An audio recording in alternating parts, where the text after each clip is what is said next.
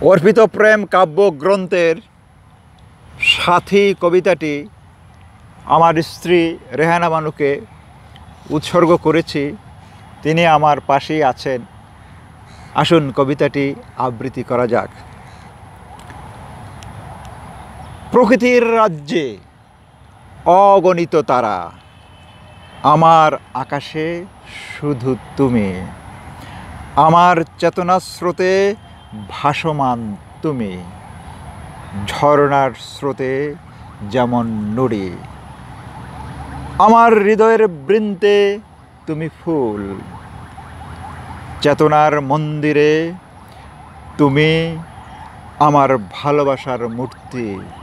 আমার চেতনার মন্দিরে তুমি ভালোবাসার মূর্তি।